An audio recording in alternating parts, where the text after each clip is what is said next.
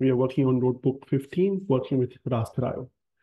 So far, we have dealt with text files, structured data, vector data. Now, another type of raster data, another type of geospatial data that you'll be using a lot is raster data. Raster data is any data set which has grid of pixels. So you can think of satellite imagery is stored as raster data. You think of elevation data, temperature data set. All of those come as grid of pixels. And they are stored in file formats such as GeoTIFF files, NetCDF files, and so on. So if you have any gridded pixel data, you can read them using Python using this library called Rasterio. So we'll learn about Rasterio and then solve a problem using that library. Rasterio is built on the GDAL library. So it uses GDAL to read and write geospatial data. It also provides some functions to do some raster data processing, such as merging files, reprojecting, clipping, etc.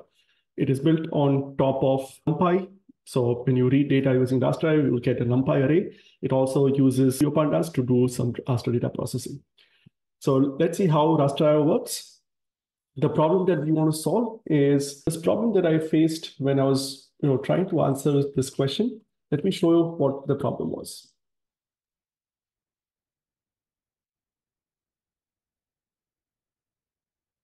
So I was working with the SRTM data. This is a very popular elevation data set.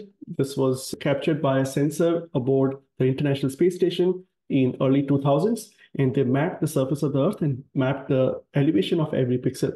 It's still one of the highest quality elevation data set that you can download.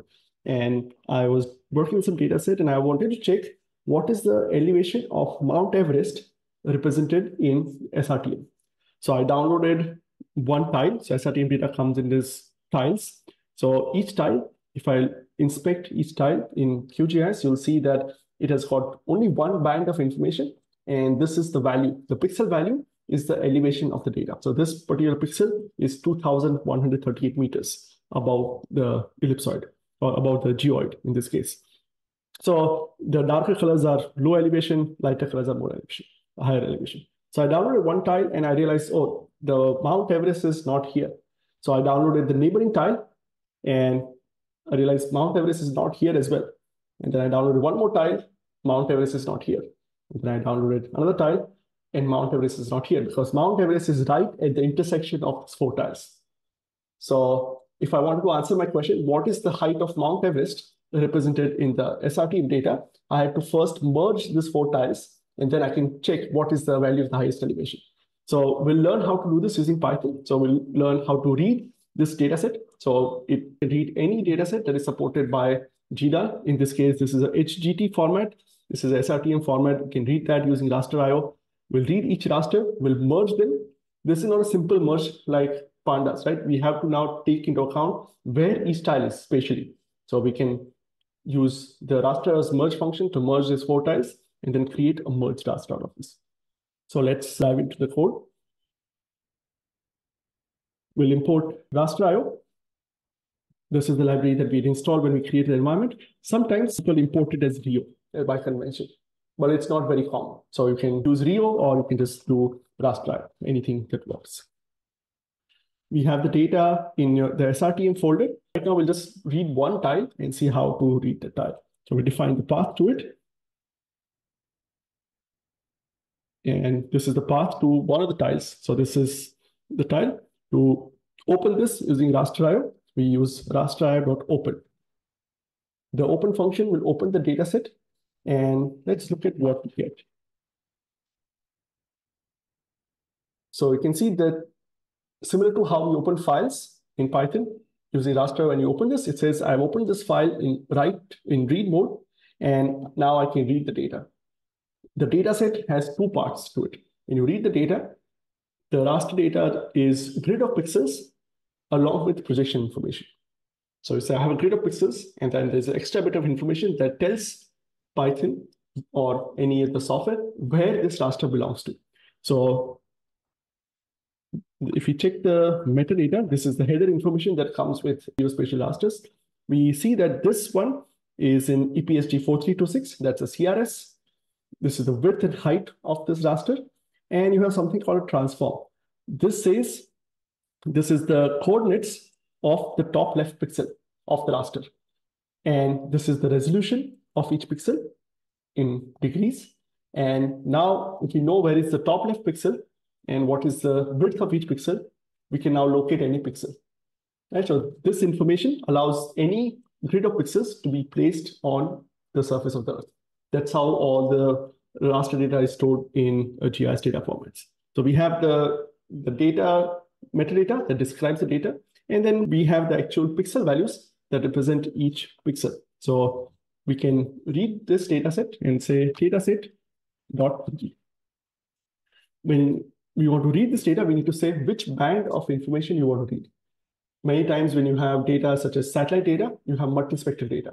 So you have more than one band of information in different wavelengths. You have red, green, blue, near infrared, and so on.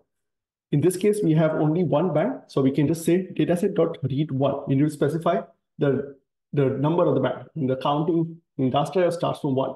So we say dataset.read one, and you can get an array. So when you read this, you will get a NumPy array that, is, that has the value of each pixel in the band one. If you had three band data, you can say read two, read three, and you get one array for each of those. So when you read this, you get your output. We'll just save it in band one variable. And if we check the type of band one, this is a NumPy array, a simple NumPy array. So now you can see how rasterio stores the data. It stores the NumPy array along with the projection information. And that allows rasterio to say, I can now work with this raster as a geospatial raster. Similar to how we read files, once you're done with the file, you need to close the dataset. So we can say dataset.close and we'll close the dataset. So we have, we learned how to read this dataset, extract the pixel values, and then close it. Now, the problem that we have is we have this four individual datasets and we want to merge them. Rasterio has a bunch of functions that allow to manipulate raster data. So you can come here and then there is a section on merging data. Let's search for merge in the documentation. So the raster has this merge module, which allows you to merge this different data set. If you read the documentation, there's a function raster.merge.merge, and you have all the different options here. Let's go through the options. The first option is a list of data sets that you want to merge. So it says you can give a list of data sets opened in R mode. So we know how to open a data set. You can say rasterio.read, and you have the data set, or you can just give file names or path. So you can say, this is my file path. I have four files, merge them into a single raster, and you can do this. Other options are all optional. You can control how they're merged. What if there's an overlap between two rasters?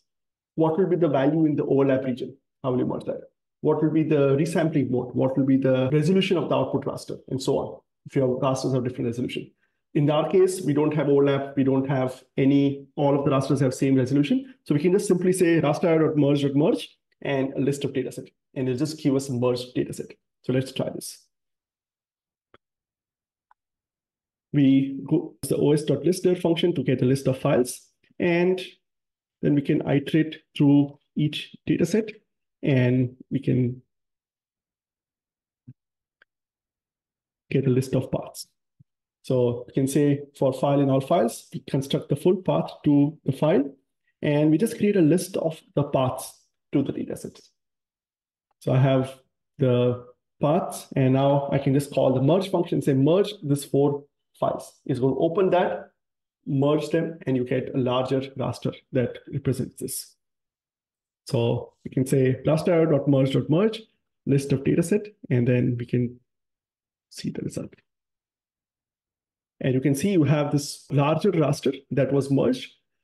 One of the things that will change is once you merge it, your transform will change you now have a bigger raster and the extent and the size of the raster will change. So now we have this larger raster, you see there's an array and you have a new transform that describes the place of the new array. We can kind of see what they are. So we can see the shape of the array. There's a NumPy function to check how big is the raster. One band of information, 7201 pixels wide, 7201 pixels tall. So this is the, you know, twice than the actual oh, single array. So we have our merged data. So we have this array. Let's write it to disk. when you're writing the data, you need to specify what array you want to write and what is the transform, what's the size of the array, what projection. So we can just say, I want to write it to this merge.tiff and we say, I want to open the path in the write mode. So now we open this file in write mode, specify all the options, what's the width, what's the height, what's the no data value, what's the CRS. And finally, we say this data set, write the merge data that we have created. So run this. And once we close it, the file will get written and get a new file, merge.tiffian. Let's check this. So you can see we process this data using Python. We have the output file, we have the merge.tiff. And you can see now I have this merged file, which is the single raster representing the single value at each pixel created from the source four files. Now we've done the work to merge them. Let's do an exercise for you to find out what's the elevation of Mount Everest.